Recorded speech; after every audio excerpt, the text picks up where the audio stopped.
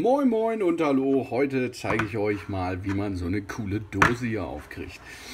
Es ist immer alles dabei, was man braucht. Man braucht keine Zähne, man braucht auch keinen Öffner, sondern wir brauchen diesen Öffnungsschlüssel, der oben dran geklebt ist. Seht ihr, mit ein bisschen Klebstoff. So, dann gucken wir mal die Dose an. Hm, da ist jetzt so was Geriffeltes. Und da, da ist so eine Nase. Seht ihr diese Nase?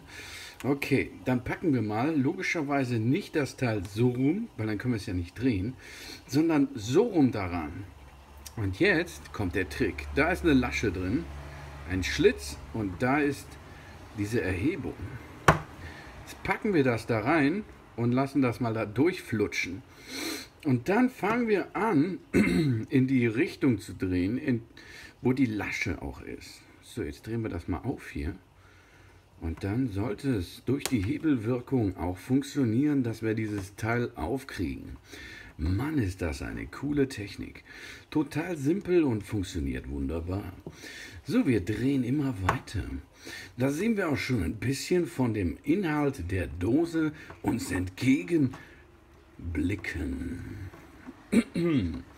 So, während ich hier drehe, könnt ihr noch die gute Aussicht hier auf meine Dose genießen.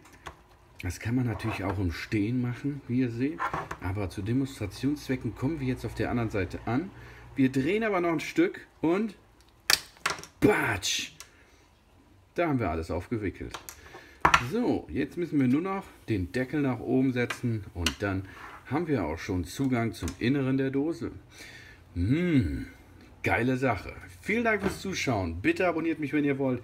Gebt mir ein positives Feedback und bis zum nächsten Mal. Soon, soon.